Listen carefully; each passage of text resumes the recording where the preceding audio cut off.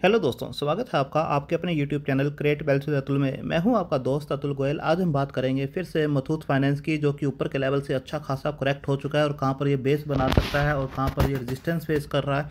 उन सब के ऊपर हम बात करेंगे। तो काफ़ी अच्छा स्टॉक है फंडामेंटली आपको पता है टेक्निकल सिर्फ़ हम बात करेंगे।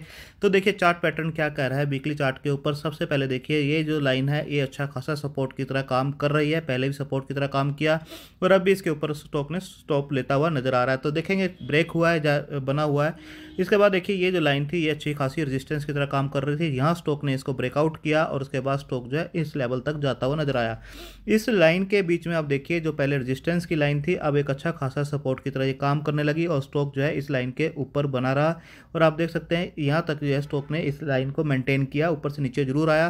काफ़ी बार इस जो हाई है, इसको टेस्ट भी किया इस लेवल को बट इसको ब्रेक नहीं कर पाया।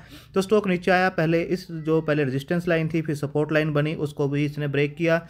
और उसके बाद देखिए, जो नीचे की सपोर्ट लाइन थी, उसके भी नीचे की क्लोजिंग इसने दी।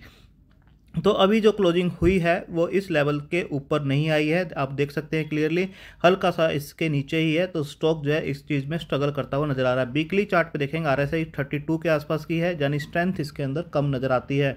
इसके बाद देखिए डेली चार्ट पे पूरा का पूरा चार्ट स्ट्रक्चर जैसे मैंने बताया आपको, इस टाइप से पूरा का पूरा चार्ट स्ट्रक्चर आपको दिखाई देगा। और यहाँ पर स्टॉक देखिए, इसने जो पहले ऊपर का लेवल ब्रेक किया, जो सपोर्ट लेवल था, उसको ब्रेक कर दिया, और उसके बाद देखिए, नीचे के लेवल को भी इसने यहाँ पर ब्रेक किया। ब्रेक करने के बाद देखिए, यहाँ पर क्या हो रहा है कि जो नीचे की लाइन थी वीकली चार्ट के ऊपर, वो तो नीचे क्लोज हुई है बट यहाँ पर देखिए जो नीचे का लेवल था ग्यारह सौ दस रुपये का काफ़ी इंपॉर्टेंट लेवल है, उसके आसपास से शेयर फिर से बाउंस बैक होता है और यहाँ पर जो है इस लाइन के ऊपर डेली चार्ट के ऊपर एक एंट्री बना लेता है बट नेक्स्ट दो तीन एंट्री देखेंगे, इस लेवल के आसपास ही आ रही है। मतलब अभी कन्फ्यूजिंग है कभी एक एंट्री ऊपर है, कभी एक एंट्री नीचे है तो इस टाइप की चीज़ चल रही है। जब इसके ऊपर कन्फर्म क्लोजिंग आनी स्टार्ट होगी, तभी इसके अंदर फिर से कोई चाल बनती हुई नज़र आएगी। तो पहला जो रेजिस्टेंस लेवल रहेगा वो इस लाइन के आसपास ही रहेगा, जो कि है बारह के आसपास का। अगर उसको क्रॉस करता है तो बारह सौ के बीच में स्टॉक जो है जाता हुआ नज़र आ सकता है। बट कंडीशन यही है कि पहले इसके ऊपर क्लोजिंग देना ज़रूरी है। अगर इसके नीचे स्टॉक टिकता है तो सबसे बड़ी बात होगी, ये लाइन जो है फिर रजिस्टेंस की तरह काम करना स्टार्ट करेगी और स्टॉक इसके नीचे वीक होता हुआ नज़र आएगा। तो पहला लेवल ग्यारह का रहेगा। अगर स्टॉक इसके नीचे ही बना रहता है तो स्टॉक ग्यारह को फिर से टेस्ट कर सकता है, जो कि ये लेवल बनते हैं। अगर इसको भी स्टॉक ब्रेक करता है तो एक 1040 के आसपास स्टॉक जो है, जाता हुआ नज़र आ सकता है, यानी 1040 को भी टेस्ट कर सकता है। तो 1110 को मेंटेन करके चलता है। तब सही है स्टॉक ऑलमोस्ट कि आप धीरे धीरे यहाँ पर और इसके बीच में कंसोलिडेट कर सकता है बट उसको भी ब्रेक करेगा तो एक हज़ार चालीस तक पहुँच सकता है। बट अगर स्टॉक इस लाइन को क्रॉस कर लेता है तो इस एक अच्छा पॉजिटिव सेंटीमेंट बन सकता है। और ऊपर के, जैसे मैंने बताया, ग्यारह, बारह सौ दस के आसपास पहला रजिस्टेंस फेस करेगा और उसके बाद तेरह सौ रुपये के आसपास दूसरा रजिस्टेंस से फेस कर सकता है और उसके बाद स्टॉक जो है इस लाइन के आसपास पहुँच सकता है। अगर देखें टू आवर्स के टाइम फ्रेम के ऊपर किस टाइप से स्टॉक दिखाई दे रहा है तो आप देखिए टू आवर्स के टाइम फ्रेम पर स्टॉक ने नीचे से एक अच्छा बाउंस बैक लिया था।